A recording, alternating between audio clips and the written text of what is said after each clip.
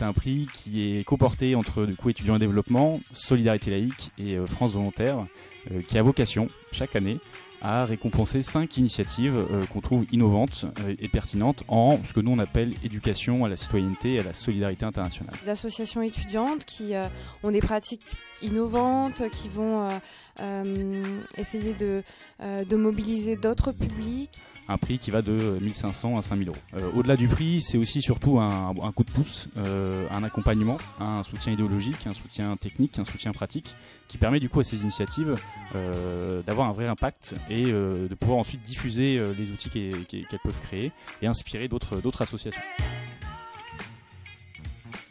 d'avoir un impact en France. C'est aussi une, ouverture d'esprit qu'on promeut, une diversité et puis on cherche aussi euh, à briser certains stéréotypes euh, que le public français peut avoir justement sur ces pays. Amener les gens à réfléchir sur des problématiques contemporaines, euh, des problématiques économiques, politiques, sociétales. Comment intégrer un projet artistique à un projet social. Une démarche de, partage, de, témoignage, parce qu'on se rend compte que c'est compliqué de, bien témoigner d'une expérience d'engagement volontaire à l'international, de sortir un peu des clichés, de dire c'était incroyable, j'étais très bien accueilli.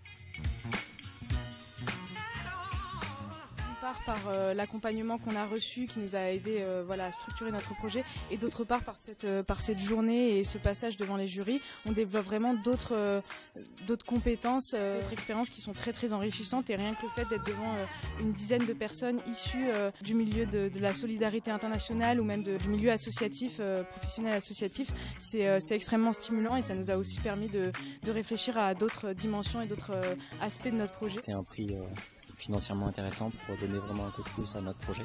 Plus visible sur les réseaux sociaux et euh, dans le monde associatif en général, et pouvoir aussi euh, euh, pouvoir profiter du réseau du pied.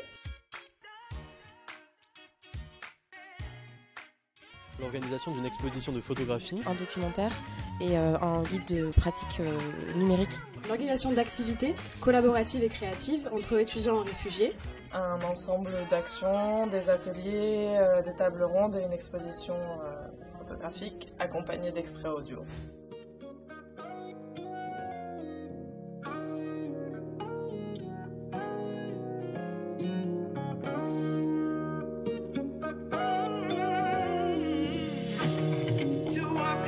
C'est le pied.